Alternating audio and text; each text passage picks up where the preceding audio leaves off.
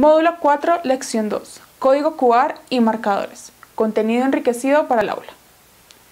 Como menciona el profesor Prendes en su artículo denominado Realidad aumentada y educación, análisis de experiencias prácticas, los niveles de la realidad aumentada se definen por los distintos grados de complejidad que presentan las aplicaciones basadas en este tipo de realidad, según las diversas tecnologías que se utilizan al momento de ser implementadas. En relación a este aspecto, el autor propone cuatro niveles de complejidad. El nivel cero son las aplicaciones que se enlazan en el mundo físico mediante el uso de código de barras y 2D, por ejemplo los códigos QR. Dichos códigos solo sirven como hiperenlaces a otros contenidos, de manera que no existe registro alguno en 3D. El nivel 1, realidad aumentada con marcadores, las cuales son aplicaciones que utilizan marcadores, imágenes en blanco y negro, comúnmente cuadradas y con dibujos esquemáticos. Habitualmente para el reconocimiento de patrones 2D, la forma más avanzada de este nivel también permite el reconocimiento de objetos 3D. El nivel 2, realidad aumentada sin marcadores.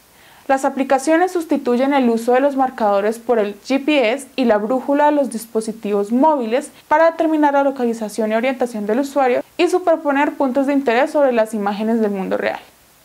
El nivel 3, visión aumentada, estaría representado por dispositivos como Google Glass, lentes de contacto de alta tecnología y otros que en el futuro esta tecnología será capaz de ofrecer una experiencia completamente inmersiva y personal. De un modo similar a la gamificación, la realidad aumentada permite realizar actividades prácticas y experienciales que faciliten la comprensión de los conocimientos y la adquisición de competencias de los alumnos en el aula. Experiencia vivencial.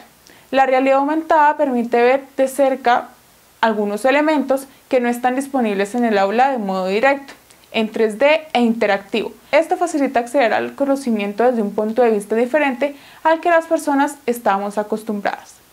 Complementariedad. Las herramientas tradicionales como los libros de texto se pueden integrar con elementos tecnológicos de realidad aumentada que amplíen la información bien sea con elementos 3D, videos, enlaces, mapas, ubicaciones específicas, entre otras. Los elementos de realidad aumentada facilita ofrecer al alumno numerosos contenidos para ampliar información relacionada con el tema, tratando la asignatura, actividad o proyecto, lo que permite que cada alumno siga profundizando en aquello que desee. Familiarización. Familiarización tecnológica. Usar activamente la tecnología, así como crearla, facilita el desarrollo de una ciudadanía crítica que permita desarrollar su competencia digital. Aprendizaje significativo consiste en vivir el contenido aumentando la realidad física, permite afianzar los conocimientos adquiridos añadiendo otros nuevos.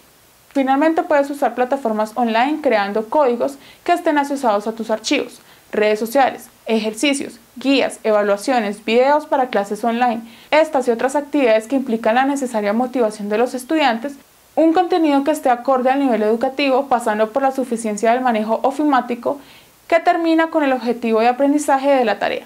Si logramos cumplir el principio con estos propósitos, podemos como docentes tener la satisfacción de estar acercándonos al manejo de una nueva realidad educativa.